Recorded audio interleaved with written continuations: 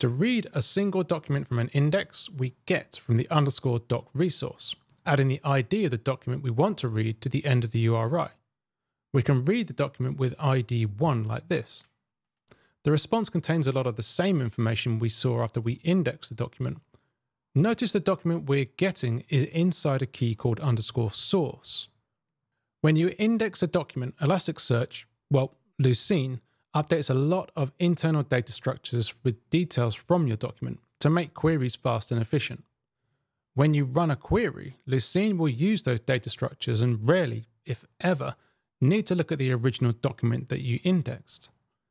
Even though Lucene may not need the original document, you likely will, so it's kept in the index and referred to as underscore source. When we get a document from the index using the underscore doc resource, the original document is returned in the underscore source field. If you're not interested in the system fields like underscore index and underscore version, you can get just the source by using the underscore source resource instead of underscore doc. You're also able to check if a document exists without reading the entire document by using the head verb instead of get. The response code will be 200 if the document exists and 404 if it doesn't. The other way to read documents is to run a query and read the results. I'll be giving an introduction to queries in a later section, but here's a request you can run in Kibana that will match all documents in the index.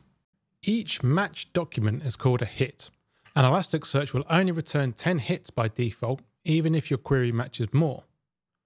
You can see more than 10 hits by adding a size attribute to the query, setting the value to say 100, and rerunning the query.